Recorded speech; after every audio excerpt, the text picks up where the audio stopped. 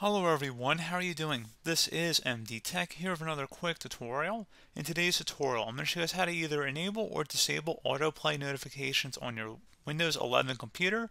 So when you plug in new devices or peripheral items and you get pop-ups asking what you want to do with this new program and this new drive, in today's tutorial, I'm going to show you guys how to turn off those notifications and we're going to go ahead and jump right into it.